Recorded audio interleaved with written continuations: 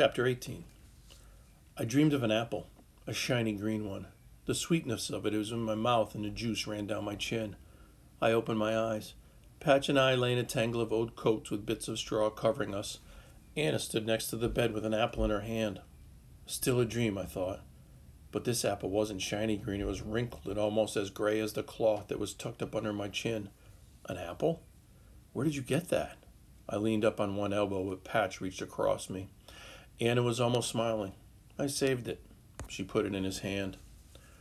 We sat on the edge of her bed, Patch and I taking turns. I held it out to Anna once and then a second time, but she shook her head and motioned for us to eat. We ate until it was finished, core gone, seeds gone, everything gone, even the stem, and Anna watched, nodding. We lay back against the straw, wishing for something else to put in our mouths, wishing for another apple. Patch began to whimper. I put my hand on his arm to stop him from saying what I wanted to say myself. He said it anyway. Do you have another apple, Anna, please?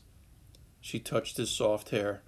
I finished the shawl during the night, she said. The wool is good and the stitches are fine and even. Oh, Anna, I said, and I swung my legs out of the straw. I will go to Ballylee with it to sell. I sat at the edge for a moment. It was a long walk, and I felt shaky even after the apple. Pat struggled up out of the straw. I'll go with you, Nory. Anna grabbed my wrist. Be careful, she said sharply. Don't let strangers see you with any money. Spend it wisely, but only what's necessary. She looked angrier than I had ever seen her, but I knew it wasn't anger. The lines and furrows in her face had to do with worry. I will be careful, I said. I will buy what we need and then come back. Will you? Take care of the little one, she said. I nodded. No, Patch began to cry. We'll buy a penny bun. I swooped down to give him a hug, but I didn't stop to tell him that he couldn't go with me. I just went, listening to his crying. It was a beautiful day, the sea laid out flat and gray, and in back of me the sun coming up over the cliffs. I walked slowly, the shawl hidden under my petticoat. But no one was on the path this morning. Scavengers were at the water's edge where nothing would wash up. The land was bare as well. Even the grass was sparse because people had pulled up huge clumps to suck on. Nothing else grew except the razor sharp seagrass on the sand dunes near the water. I kept walking, planning. How much would I get for the shawl? Whom would I sell it to? What was the most important thing to buy afterward? And I thought of the package in the post office. I reached the main street at last. People filled the street, people with no money for a shawl, no money for food. They stood in front of the bakery, waiting, coughing, holding each other up. Others were at the hotel, hands out, swaying a little. Their eyes were huge in their bony faces, and even though the day was cold, some of them were almost no clothing, just pieces of rags. One woman had only her petticoat. They must have sold whatever they could, I thought, to buy a bit of food. I pushed through them to the door of the hotel, and I waited too, looking through the lobby window. Inside, women were sitting in front of the hearth. One of them wore a ribboned hat that dipped and bobbed as she spoke. The woman with a brooch and ring sparkling as she moved, Lord Cunningham's wife. She was holding a thick piece of brack to her mouth, but a man guarded the doors. He was so big I'd never be able to pass him. I held up the shawl so people around me couldn't see it, but I hoped the woman in the hat did. I stood there for a long time watching her take delicate bites of the brack, wondering how it must be to have so much food. At last she wiped her buttery fingers on a piece of cloth and turned toward me. She looked at the shawl, then motioned to the guard. He opened the door just enough to take the shawl for her. The woman held it up, feeling the ribs of it, running one finger over the pattern. The hat bobbed once again. She reached into a small red purse and gave coins to the guard. I saw him put one in his pocket before he opened the door, but he dropped three others into the palm of, them, of my hand. I took the steps down from the hotel, pushing my way between two women with babies and the children who were sitting in the street. I darted around the side of the hotel and sank down in a quiet spot. The coins were of different sizes. How much were they worth? I thought about bread, or a handful of oats, but most of all I thought about the package that lay on the shelf in the post office. If I could have it in my hands, it would be better than a loaf of bread. It would be like having Maggie back with us in Maidin Bay. But Patch needed food more than a package. There might be anything, or almost nothing. What would Maggie do? I stood up at last, feeling dizzy, hungrier than I had ever been, and started up the street. Walking around the groups of people, I had never seen so many before. Some of them lay against walls of the shops, looking as if they'd never get up. their eyes sunken in their heads. They were almost like skeletons, and it was quiet now, so quiet. I pulled my shawl over my mouth and made my way around them to the post office. The window was filthy. I peered through the dirt at the shelf with the box and the bits of colored paper and the R for Ryan. But Patch's face was in my mind and Anna's. Suppose there was no food in the box or nothing that could be turned into food. But there was something inside that Maggie thought we wanted or needed. What?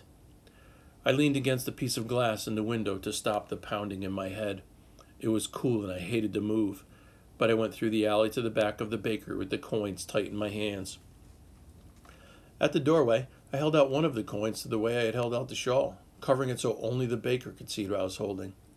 After a while, he came back to the door, reached for the coin with his dusty white hands.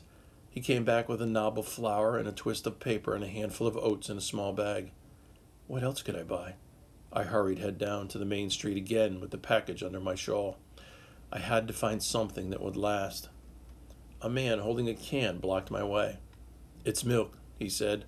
The last for my cow before they took her away. He bit his lips, chapped as Celia's and mine were, but there was something about him. His eyes almost hidden under the straggly hair that made me think of Devlin. I took a step away. He followed me. The whole can for a coin. My headache was worse. I was dizzy, trying to think of what to do. Should I buy it? Would I spill the milk on the way home? It had a strange color, after all, almost like one of Biddy's eggs. I shook my head and took another step and another and backed into the doorway of the post office. I was dizzy, thinking of Maggie's face in front of me. She shook her head. No, Celia said, You never think of what you're doing. I should put this coin into Anna's hand. Instead, I put the coin on the counter.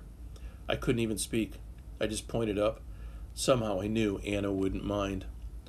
The postman looked down at the coin, he shook his head, so I put down the last coin. And then the package was in front of me, and I was putting my N on a lined piece of paper. To say that you received it, you know, he said. I went out the door holding it, weighing it in my mind, not heavy, not light. I ran my fingers over the bits of color, red and green, in the writing. I could even pick out my own N and Celia's C as well as the R for Orion, but I didn't stop to open it. I took the narrow, twisting road that circled Maidin Bay and led toward home. Through my dizziness, I could still see us, the three of us, around Anna's hearth. We'd have a dollop of stir about each and enough flour for a tiny loaf of bread that would last us for days. And maybe by that time Celia and Granda would be back, and Da with coins in his pocket, and I would tell him, Anna first. As I reached the top of the hill, I saw her house below. My head was full of my packages and how I would put them on the table and what Anna would say and what Patch would do. I hardly felt the rain as it pelted down on me, covering the road and the rocks walls on each side. I hardly noticed the fog as it blotted out the cliffs. By the time I heard the footsteps, it was too late. I felt a hand on my back of my neck, felt a push. I threw my arms to stop myself from falling, but it didn't help. There was a sudden pain as I went down, and a rock tore open my forehead. I looked up to see the man running with my packages under his arm, his hair streaming out in back of him, his can of milk rolled down the hill, splashing milk as it went. I closed my eyes. I didn't want to see anything else. Celia was right. I didn't think. It seemed as if my eyes were closed for only a minute, even though it was dark when I opened them, and I lay in the straw of Anna's bed, shivering. Anna and Patch crouched on the floor next to me, both watching. Anna held up my head and poured something into my mouth, something bitter, foofar and even though I could hardly think, I knew the herb, comfrey. Nory's sick, Patch said, but Anna shook her head. Not sick, shocked. Something happened to her. The sound of a cloth being ripped, cool water on my head, the smell of comfrey. I was asleep, and then awake, listening to Patch ask for food. To Anna as she made a soup for him and tucked him in beside me, still listening to Patch's breath slowed and thickened in sleep. Anna's hand was on my cheek. It's all right, she kept saying. It'll be all right. I opened my eyes once, and then, at last, I really slept.